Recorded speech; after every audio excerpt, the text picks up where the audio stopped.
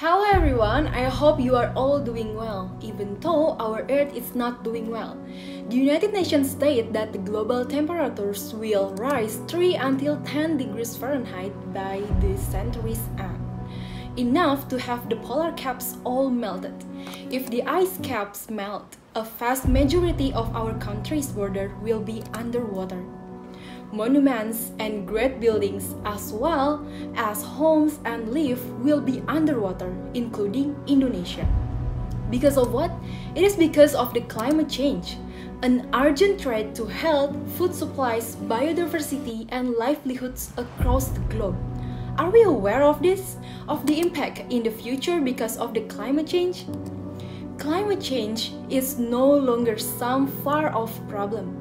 It is happening here and now. Therefore, on this occasion, I'm Claresta Cynthia from class IR22 2SP, an undergraduate student of International Relations at LSPR Jakarta Communication and Business Institute, would like to convey about climate change as the fulfillment of the third task of the public speaking and presentation presentation skill course with Mr. Charles Bonar Sirait as our lecturer. Say climate change and see how most people react. I find it's a bit like sustainable development, a phrase at which many people quietly glaze off and switch off. So here's the first point don't switch off. Climate change is, isn't just a word, it is a real thing. And man made climate change is a very scary real thing. The rise in global temperature over the last several decades is a matter of public records. There is an overwhelming scientific consensus that it can only be explained by one thing the rise in greenhouse gas emission caused by human activities.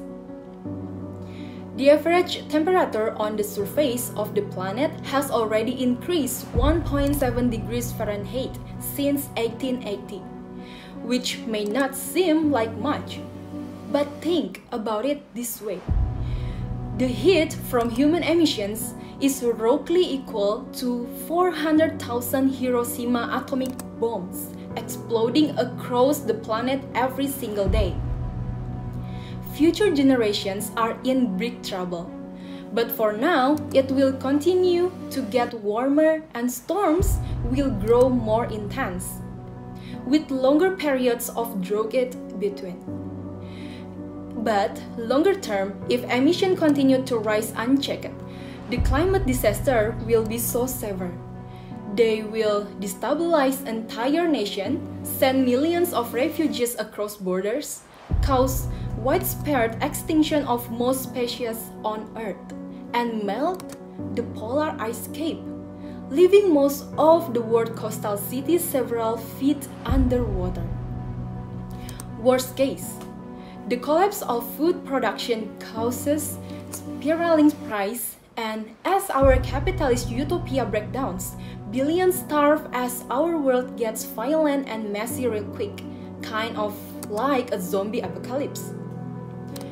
If emission continue unchecked, we are looking at total rise of between 80 to 160 feet, which could which would occur if all the ice in the poles melted. So the ocean will rise. The question the real question is how fast. Scientists only have Earth history to base their prediction on which suggests that the rate has occasionally hit one foot per decade.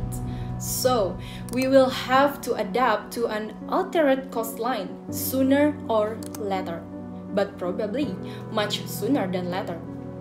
Because every time the amount of carbon dioxide in the air rises, the earth warms up, ice melt, and the ocean rise. Yes, Scientists have been publishing strong evidence that uh, warming is making drought and heat wave more frequent, cause, uh, causing heavier rainstorms and more severe coastal flooding. But while in the internet has made us all more aware of weather disaster in distant countries, it's hard to prove that's all directly directly made worse by climate change, although they probably they probably are.